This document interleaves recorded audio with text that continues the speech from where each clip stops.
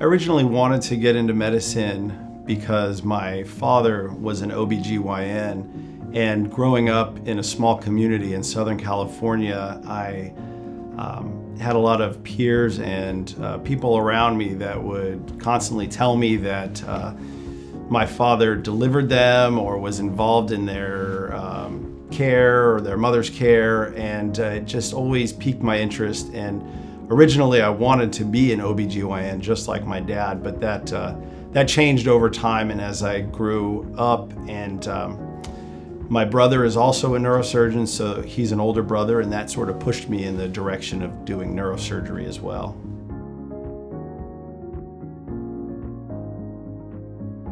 I love practicing in the Tampa Bay area because really Tampa Bay has everything that uh, you would need. Um, it has beaches close by, it has um, culture, it has a, a, real vibrant feel to it, and um, I think that uh, overall as a doctor in the Tampa Bay area, the patients are, are just excellent and very uh, thankful for what we can offer them.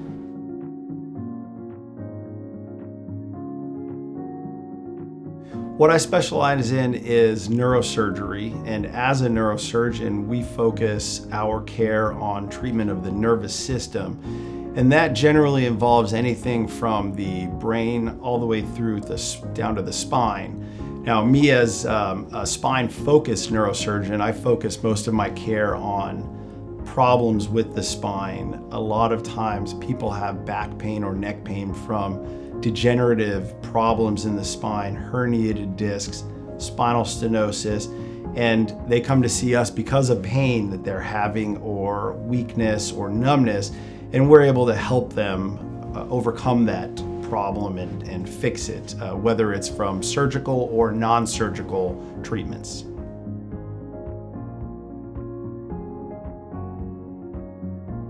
I think what sets me apart from other surgeons in neurosurgery or in the spine surgery field is that uh, I really do try to take a lot of time to talk to the patients and find out really what the root of the problem is.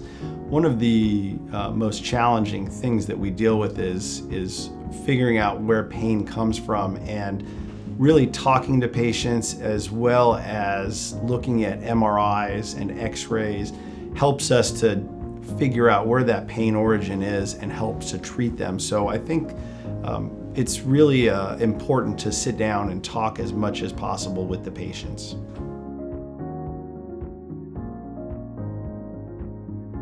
I think the most rewarding part of my job is when we do a surgery for someone that has back and neck pain or arm and leg pain and they have immediate relief afterwards and they feel great and they want to get up and walk and uh, and do all the things that they haven't been able to do in a long time.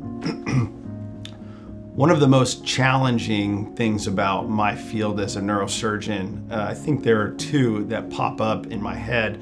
One of them is really trying to find the origin of pain in order to be able to treat it because um, you know, at at some point the surgery does not become the hard part. The surgery itself is um, not the most challenging thing. It's really trying to figure out where the pain's coming from in order to offer them the right surgery.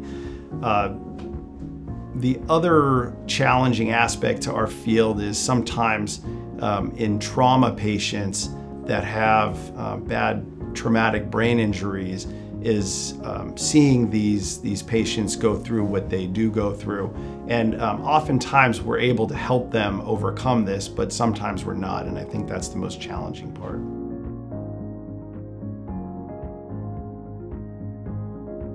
Before every surgery, I generally will look at the MRI, x-rays, and CAT scans and discuss them with one of my partners and just go over the surgery in my head on how to uh, basically get from the start to the end. And uh, the reason we do this is because we don't want to have any surprises during surgery.